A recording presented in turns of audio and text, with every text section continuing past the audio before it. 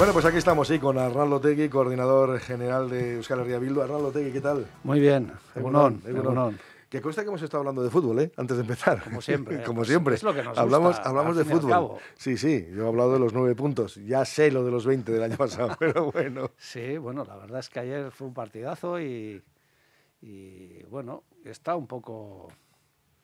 Yo creo que está interesante este año la liga, ¿no? Porque creo que ahí vamos a andar. Pero bueno, todavía esto es muy largo, ¿eh? No, no es largo, es largo. Queda, queda Todavía mucho. No, hay que mucho. vender, no hay que vender la piel del oso. Y eso se sabe en política también, ¿eh? Exactamente. Que uno no puede echar las campanas al vuelo porque luego de repente los Hay que votantes... ser muy humilde porque hay gente que piensa que se ganan la- los... En el fútbol suele pasar que hay gente que piensa que ganan los partidos en los micrófonos y los partidos se ganan en el campo. Y en política también hay gente que sale muy confiada o gente que es muy prepotente, muy soberbia. Y yo lo que digo es que al final es la gente la que decide. ¿eh? Entonces, este partido lo decide la gente. Entonces, hay que actuar con la máxima humildad, haciendo una propuesta lo más constructiva posible. Y en eso estamos. Nosotros estamos muy tranquilos y tranquilos. Pues ayer verdad. lo escuché y un poquito sobrado, ¿eh? que, vamos- que el- habrá un resultado con un 70% del soberanismo, que va a haber un crecimiento de Euskal Herria Bildu notabilísimo. Sí, bueno, yo creo que eso lo apuntan todas las encuestas y va a ser así, ¿no? Pero bueno, esto nunca se sabe hasta el último día, ¿no? Pero ¿qué- ¿a qué me refería con lo del 70%? Eh, nosotros estamos tratando de hacer una oferta que altera también las políticas de alianza, las políticas de cómo gobernar, de gobierno, etcétera. Y estamos tratando de insistir en una cosa que desde nuestro punto de vista es coherente con lo que hicimos también en las elecciones generales. Es decir, en la política normal, en la política convencional que denominamos nosotros, las elecciones y sus resultados se leen en términos de siglas políticas y de partidos. Y esto es, lógico, es normal. Pero nosotros queremos dar un paso más y queremos leer exactamente qué es lo que, o interpretar lo más correctamente posible lo que vota la gente. Y para nosotras y nosotros está claro que en estas elecciones, en estos tres territorios, entre el PNV y Euskal Herria Bildu vamos a hacer una mayoría muy mayoritaria en ese Parlamento. Si atendemos a las encuestas de 54 sobre 75, lo cual quiere decir que la gente vota Bertzale, vota nacionalista, vota soberanista, vota independentista, pero al mismo tiempo también va a haber una mayoría, seguro, con el PSE, pongamos entre comillas lo de la izquierda del PSE, eh, no sabemos si Podemos y Sumar si van a entrar o no, pero de IH Bildu que también van a hacer mayoría, probablemente más pequeña que la otra. Entonces, ¿cuál es la conclusión que nosotros sacamos? Conclusión que nosotros sacamos es que mayoritariamente la gente quiere hacer políticas más abertzales, más de autogobierno y políticas más progresistas. Y la política de alianzas debería obedecer a eso. Ahora, si uno coge esos resultados y dice, bueno, vamos a sumar siglas y entonces hacemos un pacto en un despacho y vamos a un gobierno y a un- una política de alianzas cerrada que ni es abertzale ni es de izquierdas, porque es un gobierno de bicicleta estática, pues para nosotros eso no refleja el mandato popular. ¿Eso qué significa? Que Euskal Herria Bildu está abogando porque el PNV entre también precisamente en una reflexión de esas características y pueda haber un gobierno conjunto. Por ejemplo, podría ser, pero no solamente un gobierno conjunto o un gobierno con más actores o otro tipo de modelos de gobierno, pero lo que decimos es, si un 70% de la gente vota a Berchales soberanista en este país, eso tendrá que tener un reflejo en las políticas públicas. Esto es lo único que decimos. Es decir, eh, si tan abrumadoramente la gente vota a dos opciones que reclaman que somos una nación, que tenemos derecho a decidir, etcétera, hombre, eso algún reflejo tendrá que tener. Si no, el abertzalismo, el movimiento abertzal está en suma cero, es decir, que eso es lo que hemos estado hasta ahora, en una suma cero. Pero al mismo tiempo decimos, si la gente vota PSOE, Echebildu, Sumar, Podemos y a las fuerzas de la izquierda, hombre, eso tendrá que tener algún reflejo en las políticas públicas. Ambas dos pulsiones tendrían que tener reflejo en las siguientes políticas públicas. Y lo que decimos es, para eso, lo que hay que hacer es cumplir con este mandato popular, con este mandato democrático y habilitar las fórmulas, las que sean, de colaboración y de cooperación, como dice Pello Chandiano, que permitan hacer políticas más abertzales y más nacionales vascas y más de izquierda. Bueno, es cierto que Euskal Herria Bildu en algunas cuestiones se ha entendido con el gobierno de PNV Partido Socialista en esta legislatura. Sí, a pesar de que ha habido un intento de construir un relato de que nosotros hemos estado en el no, etcétera. Yo recuerdo incluso que nos hemos abstenido en unas, en unas eh, votaci- en una votación con respecto a los presupuestos. Hemos alcanzado acuerdo. El último que hemos alcanzado creo que es en Gasteiz sobre el presupuesto de Gasteiz, en Gasteiz donde somos la primera fuerza política. Eh, yo quiero recordar que nosotros pusimos a Hurtaran de alcalde de Gasteiz, siendo la tercera fuerza política y nosotros la segunda, para evitar que el PP gobernara. Lo digo ahora porque siempre se hace una especie de trampa cuando se dice que el partido más votado. Nosotros lo que decimos es que el partido más votado del bloque que se enfrenta a la derecha extrema y a la ultraderecha es quien tiene eh, encomendado por parte de la gente dirigir, como en Iruña, gobiernos de amplio espectro. Y lo que decimos es que lo mismo ocurre aquí. Entonces, no estamos, eh, digamos, planteando en la política algo convencional, estamos planteando algo muy innovador y es cómo leemos los resultados. Nosotros en las elecciones generales en el Estado, ¿cómo leímos los resultados? Lo dijimos la misma noche electoral, dijimos, da igual si usted ha votado a Echebildu, a Podemos, a Sumar, al PNV, a Gueroabay, ¿Qué ha votado la gente en los cuatro territorios de este país? Que no quieren que gobierne la extrema derecha. Ese es el mandato popular. Eso es lo que hay que hacer operativo. Pero hay, desgraciadamente, en la política convencional, en vez de atender ese mandato, se, atiende más a los mandatos de las siglas, de los partidos, etcétera. Y es cuando creo que eso lleva al alejamiento de muchos sectores sociales de la política. ¿no? Lo que pasa es que cuando eh, es difícil, ¿eh? Es, complicadísimo, yo no sé. Me, parece que por ahora creo que son el agua y el aceite. Se está mirando, por ejemplo, al Partido Nacionalista Vasco y Euskal Herria Bildu. Pero, pero yo creo Porque que... Porque hay, hay notabilísimas discrepancias, ¿no? El otro día, por ejemplo, el Endacari fue muy duro con esa propuesta que había hecho Euskal Herria Bildu de que mm, eh, gobierne la lista más votada. Y le hizo un repaso que, por cierto, en datos era un poco de modelador. ¿eh? Sí, lo que pasa que eh, el Endacari se olvida de bastantes cosas y además tuvo un tono agrio de despedida que tampoco se corresponde, digamos, con lo que se llama la cortesía parlamentaria. ¿no? Fue muy amable con otros grupos parlamentarios y fue especialmente duro con, con Euskal Herria Bildu. ¿no?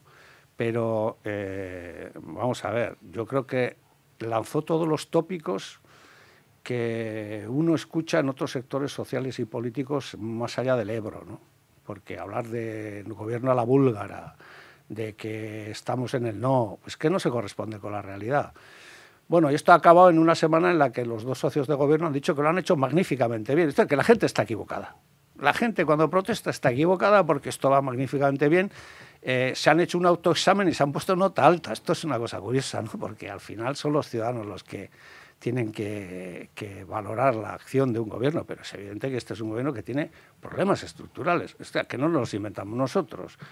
¿Ha habido un problema grave con la Archanza? Y sigue habiéndolo, sí. ¿Ha habido un problema grave con los acreditas? Sigue habiéndolo, sí. ¿Ha habido un problema grave con la educación? Y sigue habiéndolo, sí. Por lo tanto, estos son los problemas reales del país.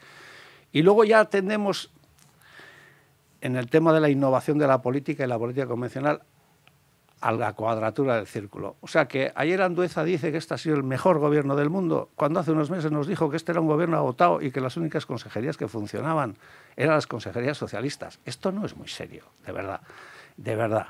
Eh, hay que atender a los problemas. La situación no es una catástrofe, pero hay cosas que hay que, que hay que cambiar y creo que la gente tiene necesidad de impulsar ese cambio y Euskal Herria Bildu le ofrece esa posibilidad con una innovación no solo en políticas públicas, sino en modelo de gobernar. Nuestro modelo es Iruña. En Iruña gobernamos con una eh, coalición de amplio espectro, en el que hay acuerdos y desacuerdos, pero ¿atendemos o no a lo que vota la gente? Esto es lo importante. ¿Atendemos o no a lo que vota la gente? Y la gente va a votar a Berzal y va a votar políticas de izquierda. Por cierto, en Iruña eh, lo ve con un problema grave, por ejemplo, la decisión del Tribunal Supremo de anular, por ejemplo, ese traspaso de las competencias de tráfico porque era un acuerdo que había mantenido con el gobierno central. Sí, bueno, eh, hay, que, hay que tener una... A nosotros nos parece gravísimo. Además, se hace en el aniversario de la gamazada, nada más y nada menos. O sea, es que esto ya es como tiene recochineo histórico, ¿no? Es, en el aniversario de la gamazada unos señores en Madrid deciden que Nafarroa no tiene competencia de tráfico porque no está recogido así en el amejoramiento. Y esto nos lleva a la reflexión de decir, seguimos teniendo derechos flotantes, dependen ¿Usted tiene derecho? Depende. ¿Depende de qué? Depende de cómo lo interpreta un tribunal en Madrid. Y ahora no vemos a esos exultantes defensores de la Navarra foral decir nada. Esto es un atentado a la Navarra foral y soberana. Esto es un atentado a eso. Y esto significa que hay que defender el autogobierno también en Nafarroa. Sí que es cierto que el Tribunal Supremo no ha entrado al fondo, ha dicho que la forma es el problema, porque eh, evidentemente Además, esto tiene un cierto regodeo histórico, porque es que las competencias de tráfico en Navarra se las quitó el franquismo. Entonces, esto tiene toda una continuidad histórica. Lo que sí detecto yo, y claramente, y bueno, no creo que yo, creo que todo el mundo, es que la judicatura en el Estado español está en modo eh, golpe de Estado permanente contra el gobierno del PSOE Podemos y contra lo que eso significa, no contra ese gobierno, sino contra la oportunidad de abrir determinados debates que en ese Estado son todavía debates tabús, como el de la plurinacionalidad. Eh, sí que es cierto que no ha entrado en el fondo de la cuestión, se ha quedado en las formas, pero que también es que está funcionando en Madrid con decretos todo el día, ¿no? Sí, y eso, eso muchas veces deja en el aire también muchas situaciones. es posible que le haya dejado una ventanilla abierta para que entre el Supremo, ¿no? Y estas cosas habría que hacerlas pues con un cierto rigor, pero cuando dicen que no está recogido no es cierto. Además es un atentado a los derechos históricos, están reconocidos a, a Nafarroa en este caso, ¿no?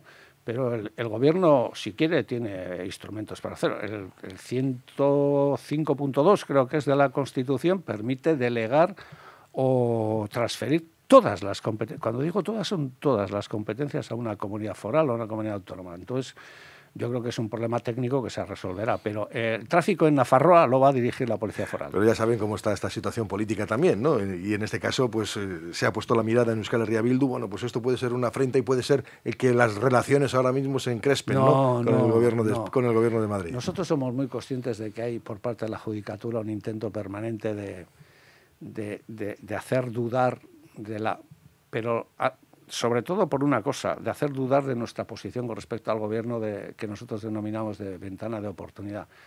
Para nosotros y nosotras, los vascos y vascas de los cuatro territorios dijeron una cosa en las elecciones generales, y es la extrema derecha y la derecha extrema no pueden gobernar en el Estado. Y nosotros vamos a cumplir eso. Así que entendemos que todas estas injerencias de la judicatura lo que buscan es digamos, poner en duda eso, pero nosotros fijamos prioridades políticas y para nosotros hay una prioridad, es que estos no gobiernen, porque cuando estos gobiernan no es un problema para Euskal Herria es un problema para los pueblos del Estado, para las naciones del Estado, para las mujeres, para los trabajadores, para los jóvenes y por tanto, si está en nuestra mano esto no lo vamos a permitir. Otros juegan un doble juego con esto, pero nosotros no. Nosotros nunca haremos presidente del gobierno del Estado a alguien del PP, nunca. Bueno, eh, claro, con respecto a lo que me ha dicho antes sobre la justicia y tal y como lo considera, hablar de lofer, vamos, eso estaría claro, ¿no? Bueno, pero es que, eh, vamos, eh, hay una cosa que siempre me ha resultado curiosa, que es, por ejemplo, cuando se dice, no, España es un Estado de derecho, es un Estado que respeta la independencia del Poder Judicial. Y, oiga, ¿por qué no se ponen de acuerdo en la en la renovación del Consejo General del Poder Judicial. Si todos los jueces aplican la ley con independencia y objetividad, ¿cuál es el problema? ¿Por qué todo el mundo quiere nombrar sus jueces? Pues evidentemente porque en España no existe independencia del Poder Judicial. Es más, en el Estado español ahora mismo la Judicatura juega un papel de garante y de vanguardia en la defensa de lo que ellos entienden que es el régimen del 78. Y por eso están haciendo las cosas que están haciendo. Y por eso están en modo sublevación. Y por eso están tratando de dinamitar la amnistía. Y por eso están tratando ahora de dinamitar la competencia de tráfico en Nafarroa. ¿no? Están ahí. ¿Por qué? Porque creen que tienen que defender unos determinados privilegios frente a un modelo alternativo que es el que representamos las izquierdas soberanistas. ¿no? Eh, ¿Ustedes contaminan al BNG o cómo funciona eso? Pues si contaminamos al BNG deben de estar encantados, ¿no? porque con el resultado que han tenido, ¿no? 25, 26 creo que han tenido, eh, sí que es cierto que no, es, no ha valido para dar el sorpaso definitivo al PP en, en Galicia, pero luego hay por eso decía antes que había que atender bien el mandato popular, lo que vota la gente, ¿no? Porque uno escucha determinados tertulianos y escucha y lee determinadas eh, titulares de prensa y parece que el PP ha arrasado. Si vamos a los votos, ayer lo decía en mi rueda de prensa, yo me tomo un poco el trabajo de, de sumar votos. Entre el PP y Vox tienes 747.000 votos, entre el BNG y el PSG 707.000 más 38.000 que ha sacado Sumar, más 3.000 que ha sacado Podemos, tampoco es que aporte gran cosa, prácticamente están empatados. Quiere decir que en votos no ha habido tal debacle para nada de la izquierda, digamos entre comillas, en...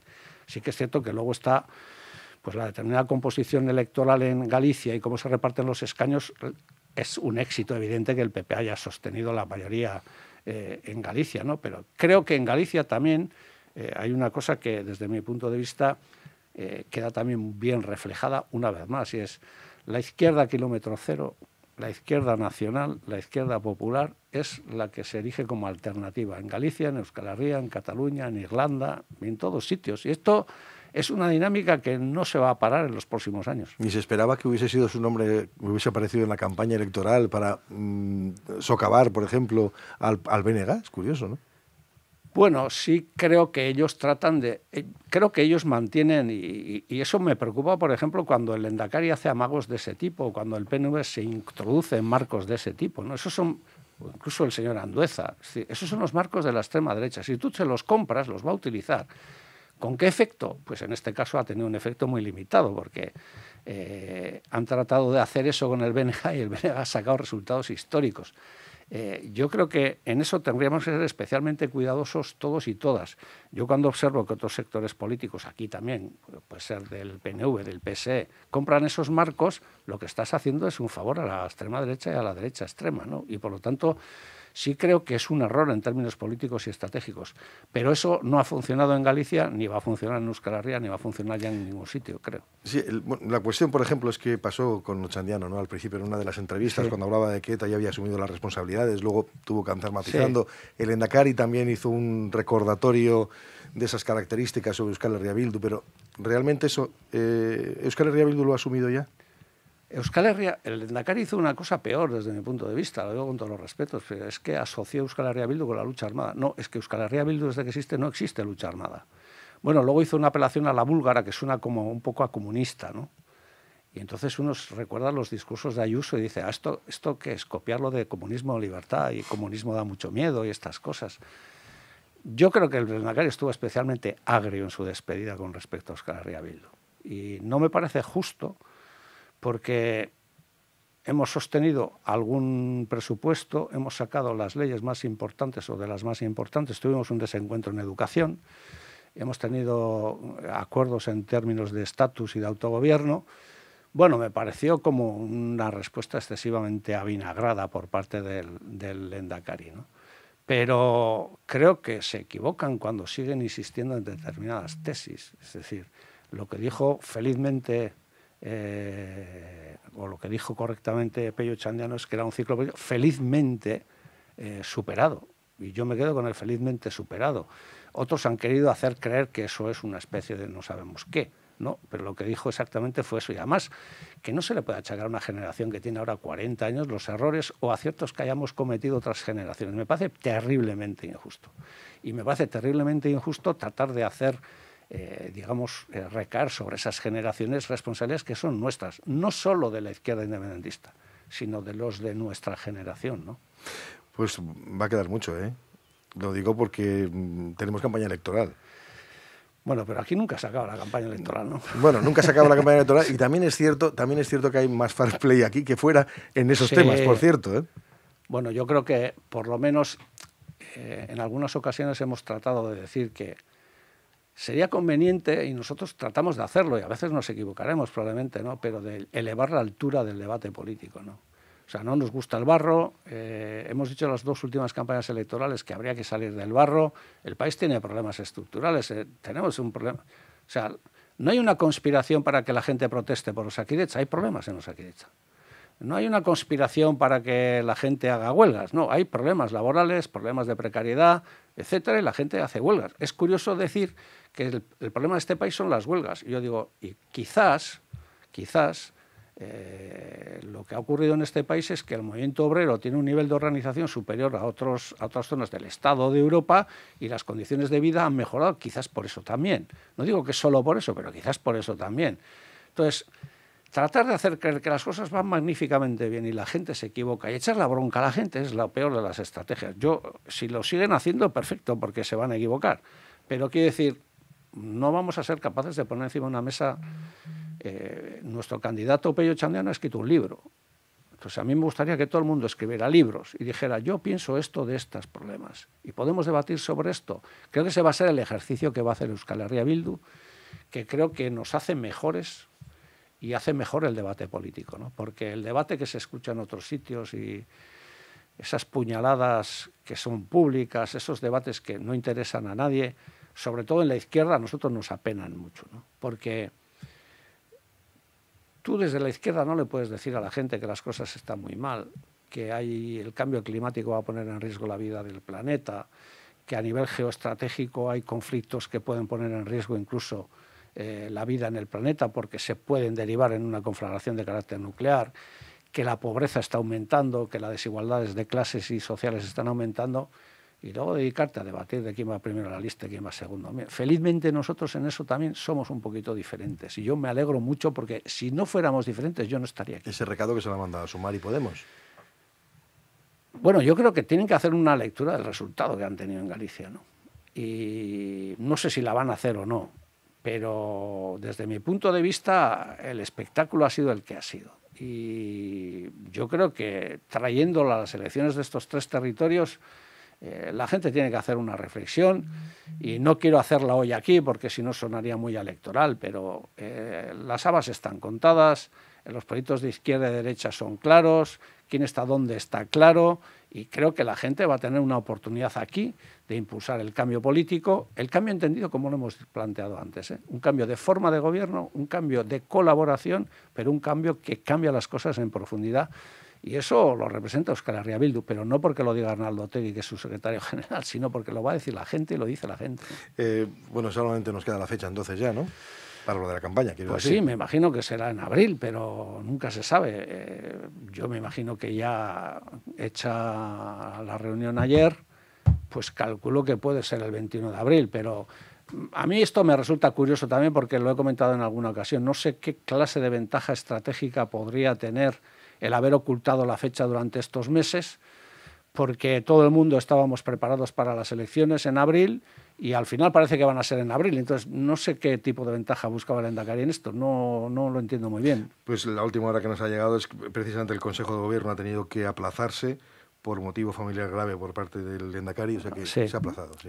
Bueno, sé qué es lo que le está sucediendo, pues le mando un abrazo desde aquí al Endacari. Pues Arnaldo Tegui, secretario general de Euskal Herria Bildu, eh, vamos a ver qué es lo que pasa, vamos a ver lo que tenemos, porque tenemos una campaña electoral además con mucha cara nueva, incluida la de Pello Chandiano. Sí, sí, sí. Que imagino que estarán haciendo esfuerzos también para que la gente le reconozca, ¿no? El candidato. Sí, pero... Aunque aquí, ¿cómo se funciona? ¿Funciona más por caras o por marcas o por qué se funciona? Yo creo que ahora mismo, en la última etapa, funcionan las marcas, pero creo que los candidatos también y las candidatas son importantes, ¿no? Entonces hay un poco de todo, yo creo, ¿no? Pero, mire, aquí creo, yo, esta es mi opinión personal, ¿eh? en los últimos tiempos en las políticas más o menos convencionales, la izquierda, desde mi punto de vista, ha incurrido mucho en, en el marketing, en la comunicación, pensando que esto lo soluciona todo. Y desde mi punto de vista, pues, ha quedado acreditado que eso no lo es todo. Eso es importante, pero lo importante es, primero, que tengas organización, que estés en el territorio, que hables con la gente, que tengas disciplina y que tengas lo que decía mi suegro, que era lo que le faltaba a la izquierda, que era un poco de fundamento. Y si no tienes eso, puedes tener el mejor aparato de marketing electoral, pero esto no te va a funcionar. Bueno, lo dice su, lo, dice, su suegro y Carlos Arguiñano. Y Carlos Arguiñano también, sí. Arnaldo Tegui, es vale. Es soy.